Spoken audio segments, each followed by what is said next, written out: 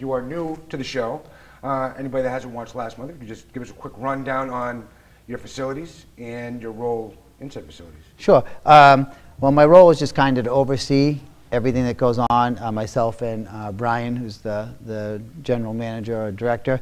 And um, basically what we do is we take in un unwanted exotic animals. Um, people have them as pets or wherever they come from, and then we uh, find homes for some, keep others, and then we use them for educational programs. So we travel, pretty much we'll go anywhere in the United States. Um, and then uh, where our facility is open to the public uh, six days a week. We're closed Mondays, but if there's no school, then we open on that day. But if somebody shows up, we won't turn you away. We will let you in and happily take your Your money. hours change towards like school vacations, like Um, vacation. We're pretty much uh, 10 to 5 Sundays or 12 to 5, but we've been discussing uh, opening up at 10 on Sundays as well, just because people are showing up so early. How about the expansion project? Last month we were talking about it. I think you were about about ten, about ten thousand. You said you were out. You're just getting closer. We're getting, we're getting closer. We're still, you know, what, you, you have a, you say you need 10,000 more, and then the carpenters come in and go, hey, this, this, and this, we need to do this way instead of this way. Um, like, we have a condensation problem that we thought we fixed with fans and all that, but now we need insulation and stuff. So we're, we're getting, you know, we're, we're getting closer. The project is really looking good. It's actually looking like a facility. We have a lot of the cement and stuff poured, and five out of the six exhibits, uh, the ponds and everything are set, uh, or four out of the five. And uh, the glass is in, and that will probably be installed next week for all the cages. So uh, we're getting closer. We definitely need more more funds, but um, How big? How big of a facility? this this one is just a reptile house, and it's a thousand square feet, and it's housing uh, five. It's animals housing uh, an anaconda, which is one of the heavy, the, probably the heaviest snake in the world. The reticulated python, which is the longest snake in the world. Um, American alligators, a Nile crocodile, and um, Asian water monitor, which is the Asian water monitor is pretty cool. We had them here last time, and that's the uh, second um, heaviest and third longest lizard in the world. And yesterday, we just started a project with uh, Framingham State. We're testing bite powers on those monitors. Uh, the one that was here, Jekyll, is part of the Oh, yeah. program and comparing their bite pressure with Komodo dragons. So it's kind of fun. Before we bring any of them out, somebody somebody was asking me today because this is you also live. Your house is also. Yes, my house, uh, my wife, and five of my six children. Uh, my oldest daughter is married and has her own husband and her own kids, but uh, they come over. I mean, this has got to be phenomenal. This is going to be every kid's dream because I was thinking of it myself, just being a kid and having all of these animals at your fingertips. Yeah, You kangaroos and. Oh, yeah, I mean, to me, it. it seems like it would be a blast. I'm No, it is a blast. Um, you know, my daughter, my four-year-old daughter's in the bathtub yesterday. My African serval jumps in, you know, and um, we all the baby animals that we take in, uh, the high-end ones like kangaroos and exotic cats and monkeys and all that, are all raised in my home with my wife and kids. That way, uh, they can uh, imprint on the on the on my family, and we can have 24-hour care. Some of the ones we take in um, are like primates, or usually preemies, or you know, the cat, the mother wouldn't feed them. So these are animals that basically need 24-hour care. So the cat still lives in my bedroom. And as far as all the kids in the audience are right now, the talking that we're doing is extremely boring. Well, yeah, so we guys. should probably show them some animals. So we, huh? you guys want us to bring something out? Yes. All right. Yes. yeah, we'll Yes? take uh, Bob. Well, who we got first coming out? Uh, here? Bob the chinchilla, Brian. Not only can run a mean computer, but he also can tackle chinchillas if called upon. So uh, this is Bob, and I know um, you know a lot of people celebrate Christmas and uh, Hanukkah and different uh, holidays. At this time of year, people get gifts, um, whether they uh, have any beliefs or not. Everybody gets a present usually this time of year. And one of the things people get are animals. And um, I'm not against people getting animals as gifts. I gave my, uh, one of my best friends uh, his son a lizard, you know, uh, for Christmas. But the thing is, you gotta. They've been asking me for six months, and they had done their research, and they knew which one they wanted, and. I just had this lizard and I was too cheap to buying a separate gift, so I said, hey, I'll just give him something I already have, right?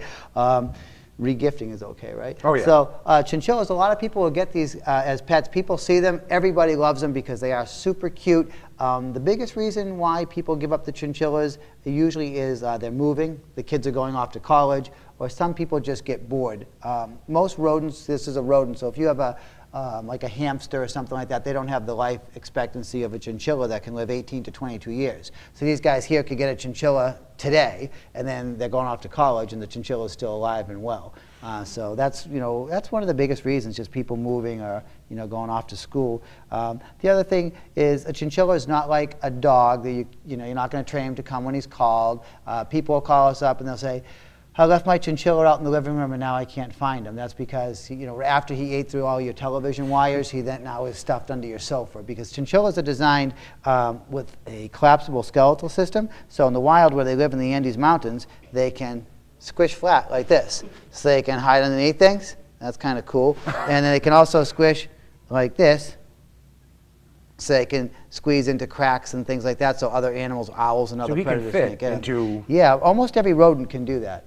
Um, yeah, a lot of animals can really uh, squish up. So these guys are, are nice little animals. They're a low maintenance animal. Um, they eat, you know, a pelleted food. You can give them raisins and sweet potato and a few things for treats. Uh, they don't eat a lot or drink a lot, and um, I know kids don't like when we talk about poop, but we have to. Uh, when they poop, it's very small. It actually, not to give you a bad image of your ni- next ice cream sundae, but it kind of looks like little ice cream Jimmy, about the same size. But you can't, don't eat it. Hey, don't eat it. And uh, it's, um, it's, it's dry, so if it poops, like if this one pooped, like you could pick it up and it's not like gross or smushy or anything. It's just dry. It's not a big deal. So they're kind of a, a cool little animal. Yeah, you can put them down. And Bob here is- was born at our facility, and he's um, No, a, lo- a lot of these guys are how you say like dog tame.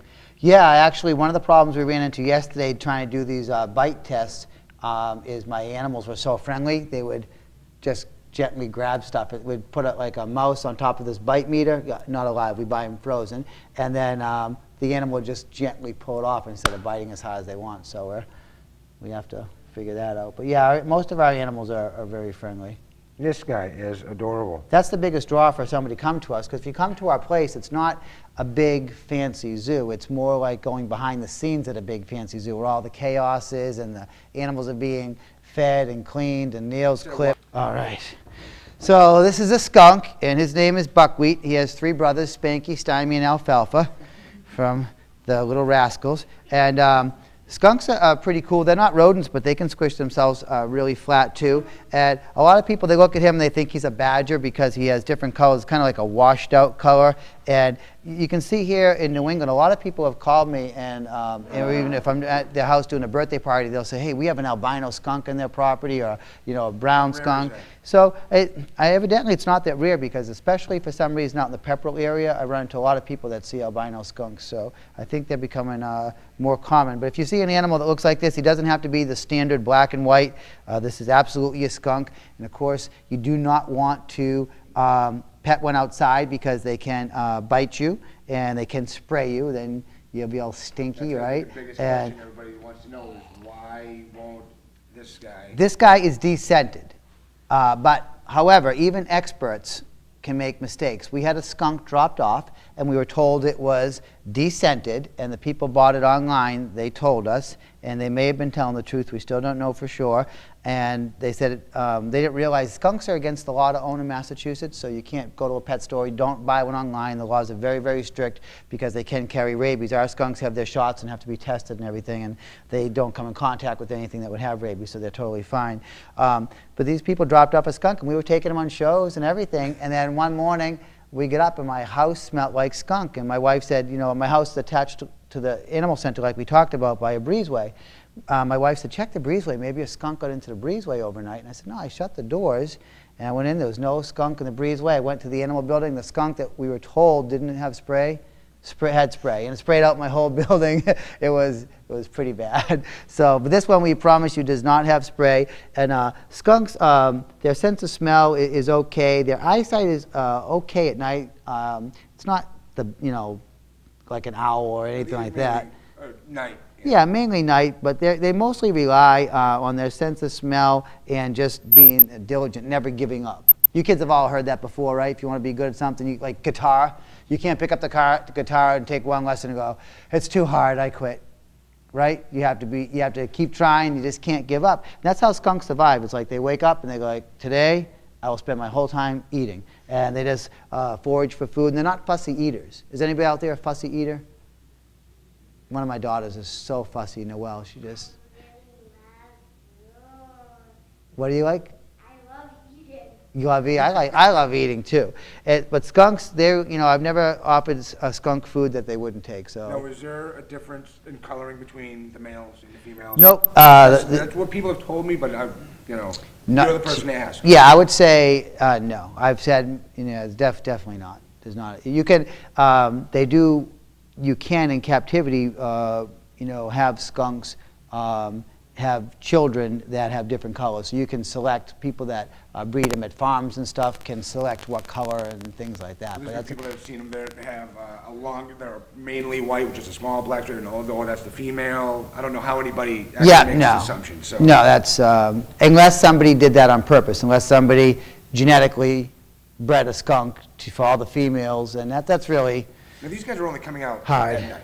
So Yeah, see- I mean, you, see a skunk you might around. see young skunks in the morning, um, especially um, if a young skunk, um, you know, you know, his mother is, is off hunting or has wandered away, and the young skunks will get confused. So you can see skunks uh, early in the morning, but mostly it, it's at night. And if you do see a skunk during the day, it doesn't mean he has rabies, but you do want to stay away. And if there's a skunk or something in your garage or any wild animal, you don't really want to uh, mess with them, you know. Which you wouldn't do that anyways, would you? If you saw a skunk? Would Yeah. you run up and give it a great big hug? When I was a kid, you could buy them as pets. They Would you actually, really? yeah, they actually make great pets, but When did they, You know? out, when did they outlaw? it's been a while, probably at least 20 years or so. Because, why, why? Um, from what they say, is they're afraid that um, somebody's captive skunk could end up with rabies or, you know, interacting with wildlife and that kind of stuff. There's, No, as far the as your laws are opinions on, on um, for anybody that wants, you know, like you have license, you have Yeah. trained for all this stuff. You know, for anybody else that's thinking like, oh, I would love to have a skunk for a pet, even descented or or uh, boa constrictors or something like that. Any advice that you would have for somebody? Um, my best advice is just to really st- uh, learn about the animal first, because a lot of times we see an animal and it looks so cool and you want it, and then once you do the research on it, you realize it's you know it's completely nocturnal. Like everybody, uh, one of my shows coming up, I'll bring a kinkajou and I'll get into that. Where it's one of those animals that we've actually taken them in, where people have spent three to five thousand dollars for them online illegally, and you should never break the law anyway, because that's just never not a never a good idea. But the animal becomes very vicious, you know, and so sometimes the ones that look the cutest are make. Because you still have to remember they're still yeah. wild, I would wild say, animals. You know, um, you know, I have plenty of friends that keep exotic animals. Just do your research, pick the ones that you know you, that you like, and make sure it's a good fit for you, and then make sure that you're not buying something out of state or online that's against the law, because you can get yourself in trouble. You know. Because I could see wanting one of these guys. Yeah, I think. See, I think these Is should. what? I think these should be legal. I think everybody should be able. I think you should be able to go to the local pet store. I'll get myself in trouble for saying this, and and buy a descented skunk because they're awesome. They litter train. They're just sweet. And uh, if you Oh, yeah, lost come them, on, this is this guy's him. adorable. I mean, uh, you know, he's decent. Me and my friends all had that. skunks growing up, and we never had problems. Hey? I know tons of people. There we go. I, I, I gotta give him. I don't want to, but I'm gonna. Here we go. He's got a big mouth, huh? This one probably weighs around 55, 60 pounds, and um, he could be, you know, uh, uh, that many years. I've grown them up in captivity when I've got them as babies, this big in 12 years. Typically in the wild, um, the rule of thumb is it's about uh, a year per pound, and it's, you know, it's not an exact how science. how so- old? Uh, this one could be anywhere. I'm going to say he was lighter when I got him. He's gained some weight. I'm going to say this one's probably, you know, could be 40 years old. What is the oldest one that you had? Now I know you just Okay, had one. I, I, ha- I had up until 2008. It seems like just yesterday. I had Igor, who was said to be the largest uh, freshwater turtle uh, on record at the time. He was well over 200 pounds, and we estimated his uh, death at over 200 years of age. He died of natural causes. I bought him off a restaurant in Louisiana in uh, 1997, and I had him until 2008. And um, his just it was a natural. I've seen I've causes, seen the videos of he was monster. yeah, he was a monster, you know.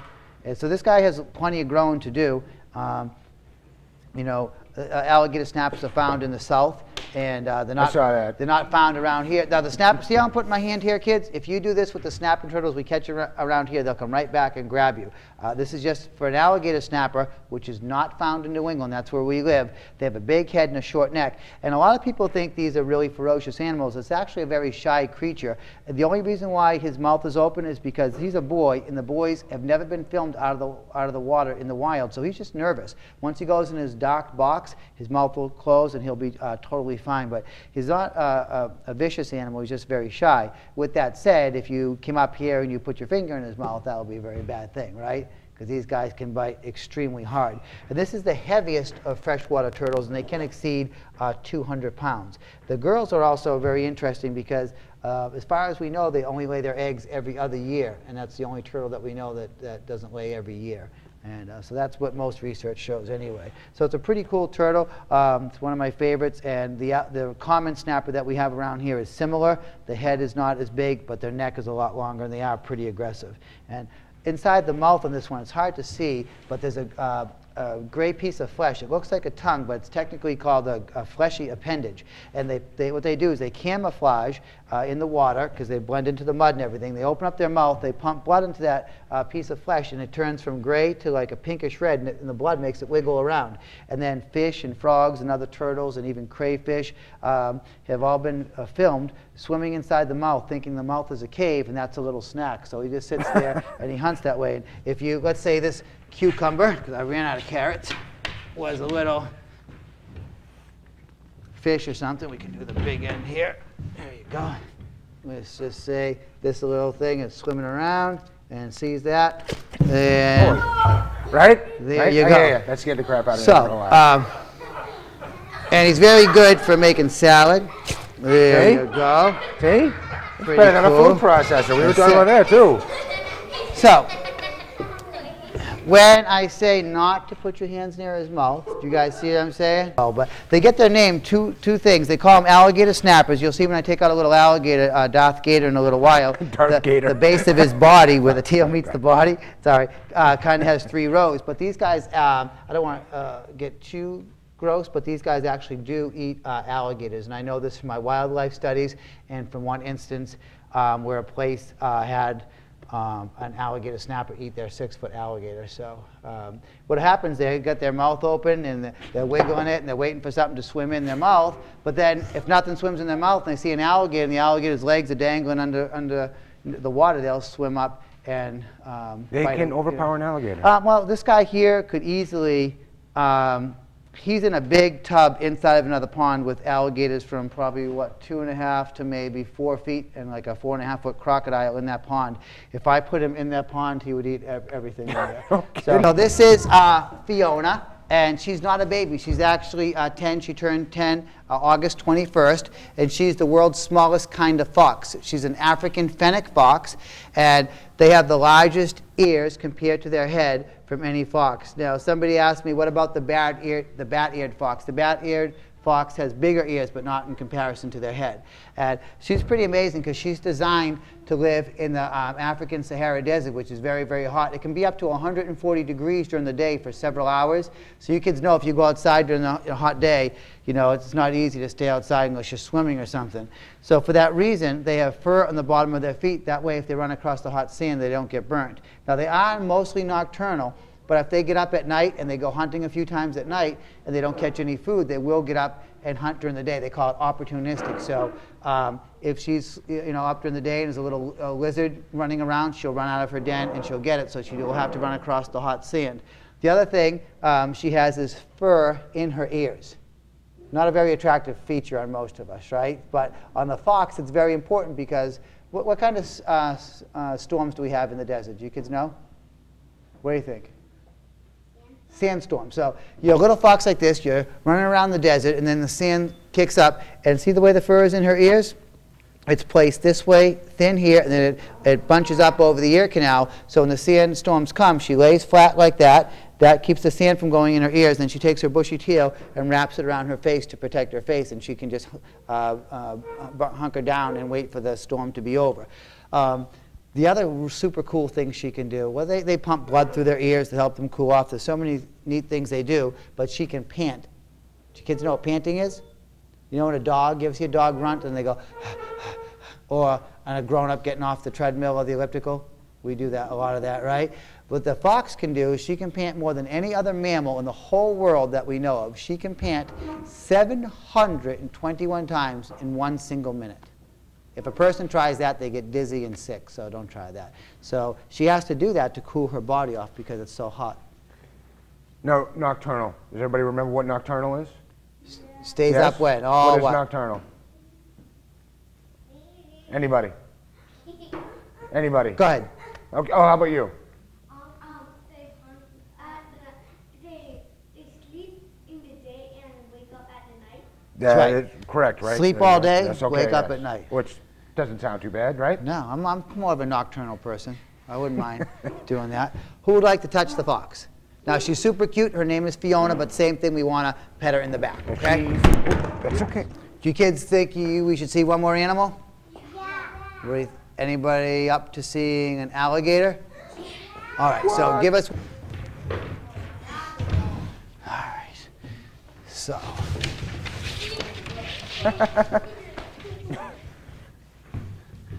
so this is a six-foot table, right? Is it a six-foot table? Yeah, Grab Yes. that tail, Shane, Sure. and get right to the end. So it's All right. pretty close. Yeah, we got a little more. Yep. About a six. Yeah, it's about a six foot, six foot two alligator. So it's a good size animal. Probably weighs about 75 pounds Hey, or buddy. so. And we He is tape up his mouth. We use electrical tape, and just so everybody knows, this tape that we use does not hurt the alligator in any way. Um, I was one of the scientists back in 2001, tested a bunch of different tapes on alligators, like hundreds of different tapes, to make sure that when we secured their mouth, we weren't hurting them. Because if you look at these dots, they look like whiskers. Those are actually sensors that help them feel underwater. So electrical tape and medical tape were the two tapes that didn't do any damage to these sensors. We use the electrical tape because it's cheaper and it stays on when it gets It moist. is definitely strong enough. Yeah, um, they don't have any opening power, but where I actually seen this, uh, you know, happening live, where somebody, a strong guy, said, "Well, alligators don't have any opening power. I can just hold his mouth shut." And he tried to hold his mouth shut, um, and the alligator shook his head and bit the guy's hand. So, if the alligator technically, if you had his head wedged so he couldn't move his head at all, you could, with your hand, hold him down, but you could never just grab an alligator like this and hold his mouth shut for too long. When we tape him up, um, this one here, I took him out of the pond and I put him on the ground, and then I, um, I didn't sit on him, but I sat over him, and then I held his mouth like that, and then a friend of mine who's uh, just happened to be there, uh, I handed him the tape and he taped it up. So, Joel, he, he never mind. So, um, yeah, so the alligators are awesome. uh, And when I was a kid, alligators were endangered, and now there are millions, over a million alligators in Florida alone. Uh, this one here is a boy. He could grow. Right now, he's six feet. He could double his, his length, but he could, right now, he probably weighs under 100 pounds. I'm guessing somewhere around 75 pounds. He could go to 1,000 pounds. So he could be like 10 times heavier, more than 10 times heavier than he is now, twice as long. So you're talking about as wide as this table or wider. No, this is one of the guys that's going to be going into the the expansion. Yeah, his, uh, we take in a lot of alligators because um, that's one of the things I specialize in is any kind of alligator, crocodile, crocodilians. So typically, um, a lot of the alligators that uh, need homes come to us, whether it be an, an educational company that they had an alligator and outgrew and now the place they're supposed to send it back to can't take it anymore. What really happened um, over the last couple of years, you used to be able to buy alligators as pets in New Hampshire and Rhode Island. And then, so if you bought them at a pet store in New Hampshire and Rhode Island, the pet stores had it set up so when it got too big, you could return it. And then they had a relationship with the farms in Florida. They would send it back to the farm. The farms would grow them up and use them for breeders and keeps, you know, everything worked out fine.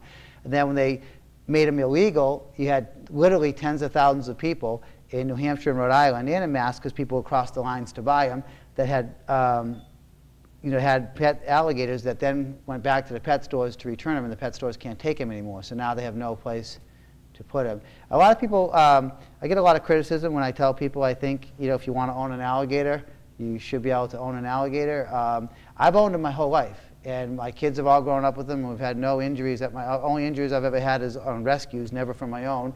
And if you study the animal, um, I've met plenty of people that keep alligators, and they they have the money and the space and the knowledge. I mean, it's not. I think if you can, you know, obviously this is not as trust. You can't trust an alligator like you do a dog. I always tell people, they say, "What animals do you totally trust?" I trust my own three dogs. Other than that, I trust no animals. I love them all. I just don't trust them. I'm not going to go, "Well, he's." He, he knows me, you know. I feed him. We got a So even if you do We're own buddies, it you know? a pet, you should still keep. Um, you should still keep his mouth taped. Oh, we Even- never, even- no, no, even we, no, no, no, we never tape his mouth. No. The only time we tape his mouth is for educate, when we travel him, because it's, um, the insurance company requires it and the law requires it. So let's say I got in a fender bender and I have a six-foot alligator running around my van, nobody wants to open up your van and help you if there's an alligator that doesn't have tape on its mouth. Um, so he, we took him out of the pond, we put tape on his mouth, and the second he gets back, right after the show, he goes right back to the pond, no tape. And this guy, I don't know, I can't tell you the last time he traveled, probably maybe July or something, you know, sometime over the summer, and I don't know when he'll, yeah, travel. Again, the only reason why I took him today is because when I open up the, the gate, he was sitting right there and he was an easy catch.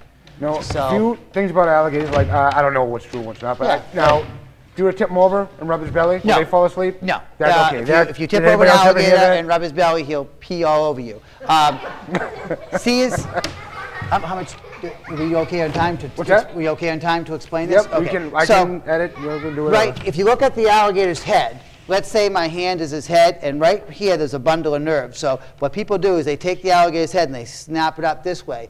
That um, pinches all the nerves and it get, makes the alligator so he can't move his head.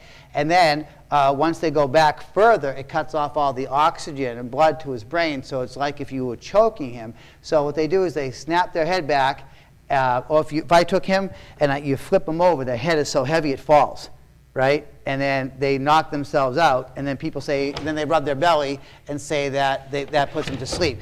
Now, I can't back this up, but I can tell you from my own studies and my own experience and my own common sense that if you do that to an alligator enough, it, I believe, and I believe I could back it up, it will cause brain damage. Now, I tell that to people in my industry, and they say we have no uh, nothing to back it up. But here's what happens. Once we become scientists, we lose common sense. I was talking to, with, an, with another scientist yesterday, and when they want to do a study on lighting, whether you need UV or heat. And I said, I've already done that study 15, 20 years ago. If you take a UV light and a heat light, the animal will always go to the heat. UV is not even really necessary.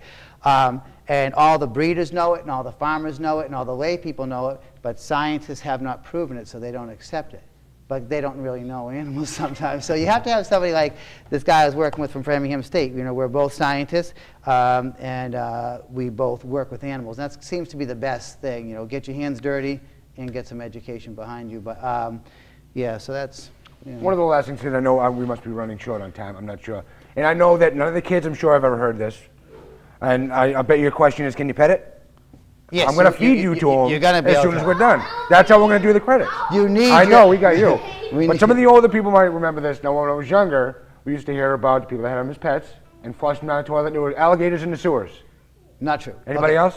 So No? yeah, I, I heard about that. They one? actually, actually, when I was a kid, one of my was a little favorite movies, up. Alligator, started that Yes, way. The yes. You know, with the, the twenty dollar budget, right? Yes, exactly. and the alligator. They should redo that movie now. They have good graphics. Well, I think we're running out of time, guys. So we're going to say thank you to Ed and to Brian and for all Well, of their thanks for friends coming. for coming down. So much more difficult to just pretend that there's an audience there. Can everybody look over at that camera? Say goodbye. Say we'll see you next month. All right. See you We'll next see you month. guys next month on Yeah, Animal right. Adventures. Thank you for joining us. Thanks.